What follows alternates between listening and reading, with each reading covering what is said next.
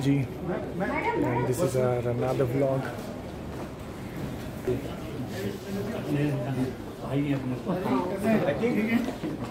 आप आप करिए जी मैं मैं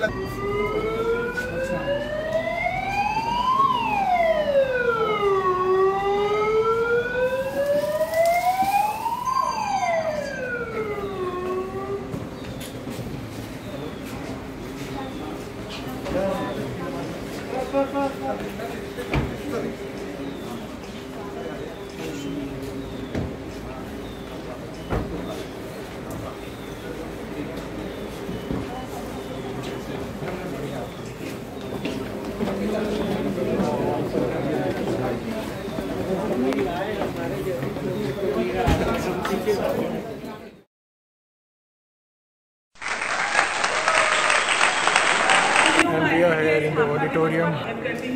तथा इसी क्रम में अपने महानिदेशक महोदय से अनुरोध करती हूँ कि वे माननीय श्री आर के सिंह जी, विद्युत एवं नवीन और नवीकरणीय ऊर्जा मंत्री जी का स्वागत पुष्प गुच्छ से करें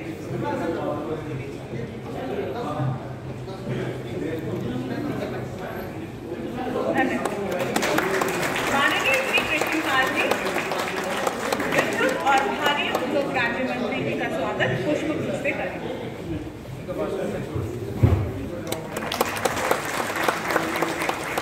माननीय श्री आलोक कुमार जी सचिव विद्युत मंत्रालय का स्वागत पुष्प गुच्छ से करें। आज का हमारा ये ब्लॉग है यहाँ पर स्पेशली डिमांड की हमारे सर आपका नाम बताइए। Gaurav Pandey PGDC student winter batch घर का एड्रेस भी बता दो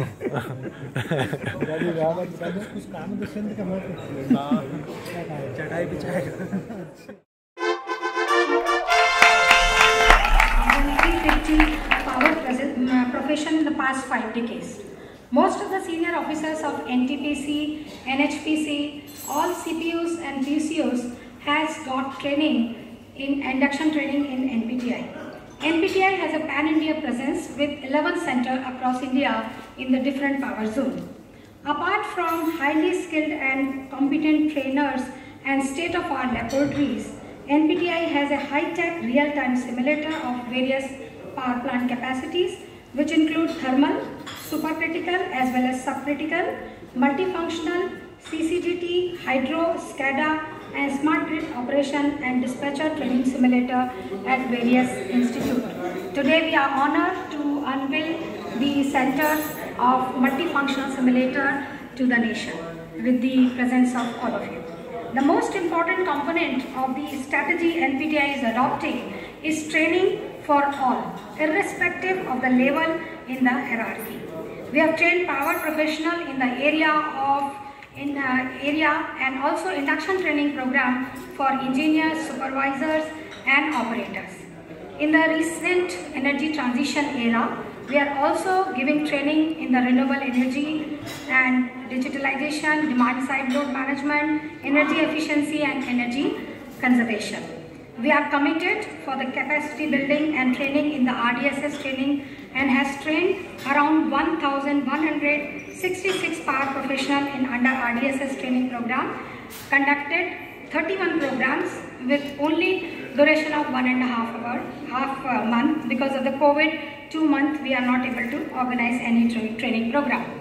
But we are aiming to train around 9,500 professional in the coming year. We are involved in the mission biomass also and conducted program for the farmer awareness for pallet manufacturers and thermal power plant professionals. We are also carrying load dispatch professional trainers and uh, recently we got a mandate also for load dispatch training. In the cyber security also we would like to come up in a massive way and we have trained around 500 professional in online and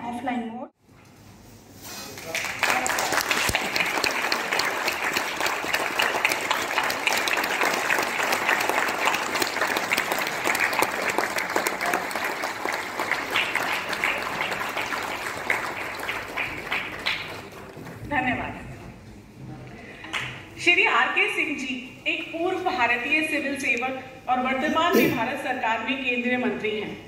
वह मई 2014 से आरा बिहार निर्वाचन क्षेत्र से भारतीय संसद के सदस्य हैं। श्री सिंह बिहार कैडर के 1975 बैच के भारतीय प्रशासनिक सेवा अधिकारी और भारत के पूर्व गृह सचिव भी रह चुके हैं। 3 सितंबर 2017 को उन्हें प्रधानमंत्री नरेंद्र मोदी के मंत्रिमंडल से ऊर्जा मंत्री के रूप में नियुक्त किया गया था। 30 मई 2019 को उन्हें ऊर्जा मंत्री के राज्य मंत्री सभी सब सर के बारे में सब कुछ पता है तो सर को आमंत्रित करेंगे प्लीज़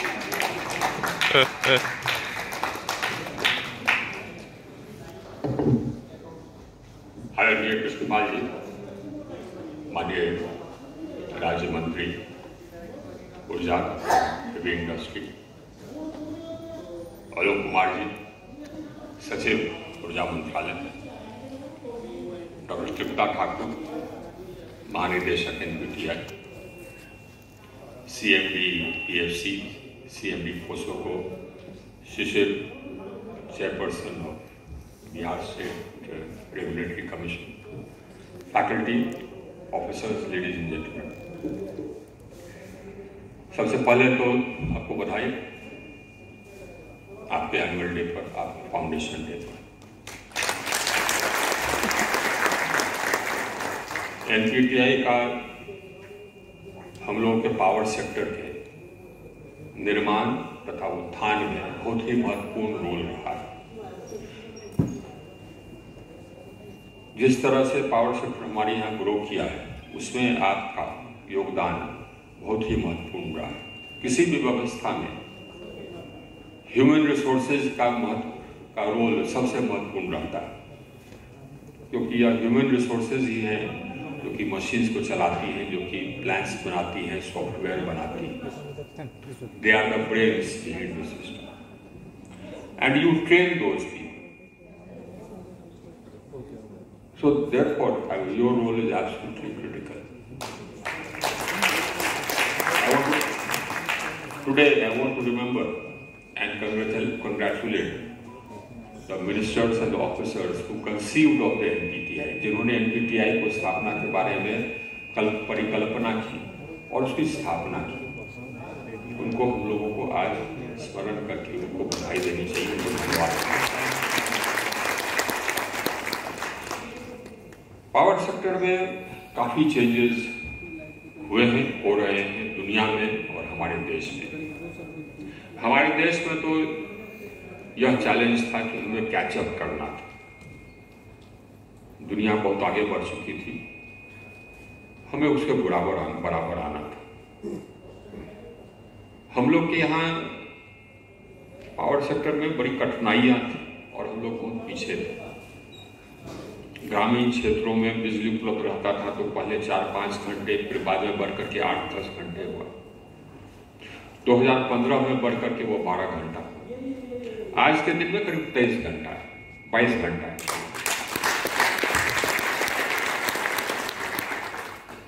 हम लोग के यहाँ हज़ारों गाँव, लाखों मजरे बिजली से कनेक्टेड नहीं थे ये सब हम बात कर रहे हैं कब की? ये सब हम बात कर रहे हैं आज़ादी के कितने साल बाद? 2015-2016 हम लोगों ने, में, हम लोगों ने प्रधानमंत्री जी ने यह परिसंकल्प लिया 2015 में कि हज़ार दिन के अंतर्गत हम लोग हर गाँव और हर मजरे कनेक्ट कर देंगे। वो हम लोगों ने कर दिया। यूनिवर्सल एक्सेस हम लोगों ने अचीव किया। हर घर तक बिजली ले गए। जो कि डेवलप वर्ल्ड बहुत पहले कर चुका था। खुशी की बात यह है कि हम लोग डेवलप वर्ल्ड जहाँ है, वहाँ पर हम कैचअप कर चुके हैं।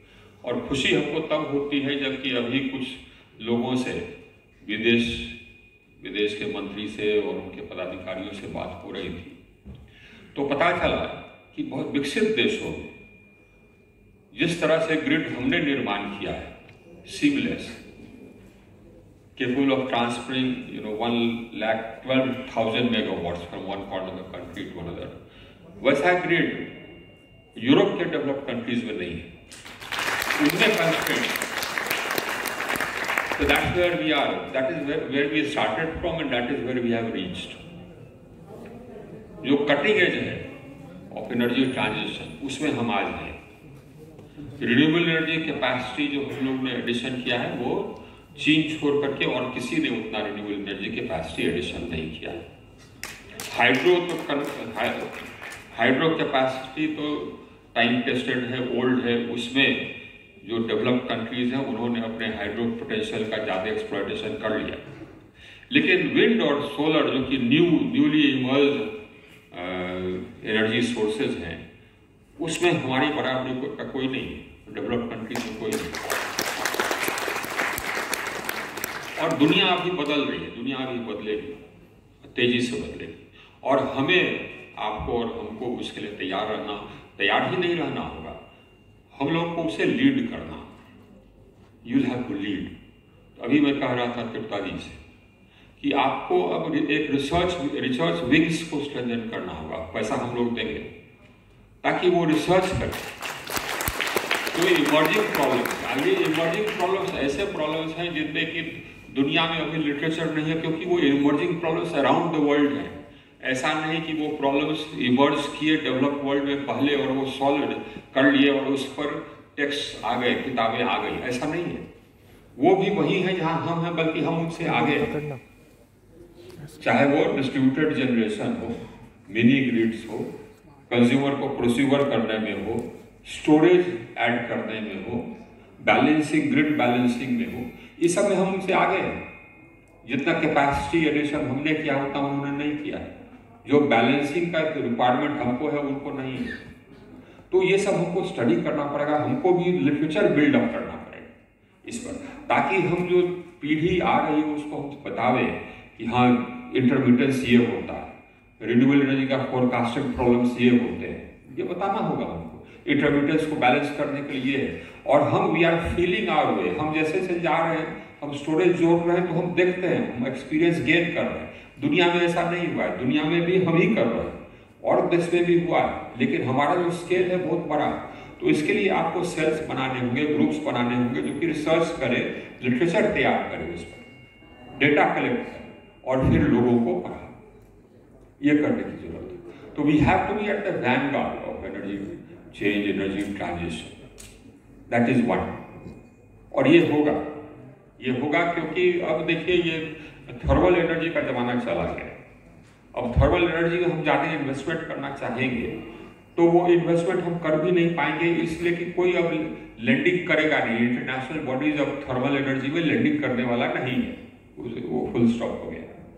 अब जो भी लैंडिंग करना हुआ थर्मल एनर्जी को हमको करना लेकिन अब ऐसा समय आ गया है कि वो थर्मल एनर्जी हम, ये अब हमारे लिए भी, अब एक एक्सपेंसिव प्रोपोजिशन और वायबल प्रोपोजिशन नहीं रह जाएगा। हमको रिन्यूएबल एनर्जी विद स्टोरेज करना पड़ेगा। वो चीपर हो जाएगा। जैसे जैसे स्टोरेज का वॉल्यूम बढ़ेगा वो भी हमको बढ़ाना दुनिया ने स्टोरेज का वॉल्यूम नहीं बढ़ाया। वो बढ़ाना हमको है ताकि हम बढ़ाएँ तो स्टोरेज का कॉस्ट कम तो धीरे धीरे हमको वो करना होगा और हमको ट्रांजेक्शन करना होगा। इन्वायरमेंट के कारण भी।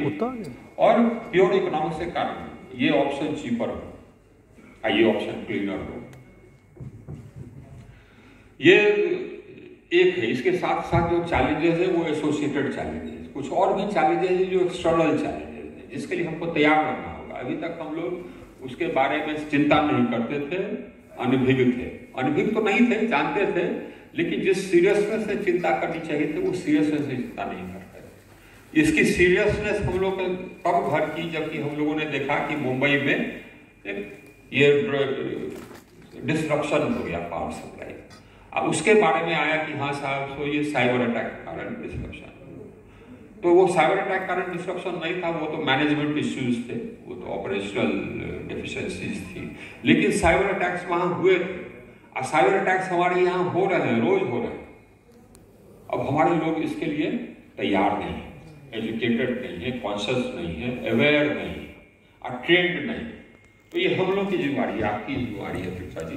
हम लोगों की जिम्मेवारी की, हम लोग सबको ट्रेन करें। और हम लोग सबको तैयार करें फॉर द फ्यूचर फ्यूचर जिसमें कि which will be very very different which will be very totally different from the past the future will be you know you will have numerous producers all over the country all adding in the grid and drawing from the grid at you know simultaneous Haryana राज्य में फरीदाबाद निर्वाचन क्षेत्र का प्रतिनिधित्व करते हैं। उन्होंने वर्ष 2014 में भारतीय आम चुनाव में भाजपा उम्मीदवार के रूप में चार लाख से अधिक मतों के अंतर से यह सीट जीती और उन्होंने 2019 में भी फरीदाबाद निर्वाचन क्षेत्र से छह लाख से अधिक के अंतर में चुनाव जीता। उन्होंने उन्होंने 1978 में जवाहरलाल नेहरू कॉलेज से स्नातक की पढ़ाई पूरी की है और मेरठ विश्वविद्यालय से कानून की डिग्री हासिल की है। तो मैं माननीय श्री कृष्ण पाल जी से अनुरोध करूँगी कि वह हमारा मार्गदर्शन दें और आइए उनके अनमोल वचनों को सुनते हैं। धन्यवाद। सबसे पहले तो मैं माननीय मंत्री जी का फरीदाबाद लोकसभा क्षेत्र में पधारने पर हार्दिक अभिनंदन करता एनपीटीआई बिजली के क्षेत्र में प्रशिक्षण और मानव संसाधन विकास के लिए विश्व का एक अग्रणी विद्युत प्रशिक्षण संस्थान है। यहाँ भारत से ही नहीं अपितु विदेशों से विदेशों से भी बिजली के क्षेत्र में प्रशिक्षण प्राप्त करने के लोग आते हैं। एनपीटीआई पूरे देश में अपने 11 प्रशिक्षण संस्थानों के माध्यम से अखिल भारतीय स्तर पर संचालन कर रहा है। मुझे खुशी है कि इसका मुख्यालय हमारे संसदीय क्षेत्र फरीदाबाद में। बहुत ही कुशल और अनुभवी फैकल्टी सदस्यों और आधुनिक प्रयोगशालाओं के अलावा एनपीटीआई में विभिन्न प्रकार के बिजली संयंत्रों के high tech real time simulator model स्थापित हैं, जिनमें thermal super critical sub critical multi function CCTT, hydro, SCADA और स्मार्ट ग्रिड ऑपरेशन शामिल है। मुझे बताया गया है कि एनपीटीआई द्वारा पिछले पाँच दशकों में अपने ट्रेनिंग प्रोग्राम के ज़रिए तीन लाख साठ हज़ार से भी ज़्यादा पावर प्रोफेशनल इंजीनियरों को ट्रेनिंग दी गई। जिससे दुनिया में एक अलग प्रकार का संस्थान बन गया है। हाल ही में विद्युत मंत्रालय भारत सरकार की महत्वाकांक्षी योजना आरडीएसएस के तहत वितरण कंपनियों के कर्मचारियों अधिकारियों की क्षमता निर्माण के लिए एनपीटीआई केंद्रीय विद्युत प्राधिकरण के साथ मिलकर साइबर सिक्योरिटी जैसे महत्वपूर्ण विषयों पर ट्रेनिंग कार्यक्रमों का मुझे बताते हुए हर्ष हो रहा है कि एनपीटीआई में इस प्रकार के छह multi functional simulator Faridabad Bengaluru Nagpur Durgapur Alappuzha और शिवपुरी केंद्रों में स्थापित किए जा। चुके हैं जो आज से पूर्णतः औपचारिक रूप से ट्रेनिंग के लिए उपलब्ध रहेंगे।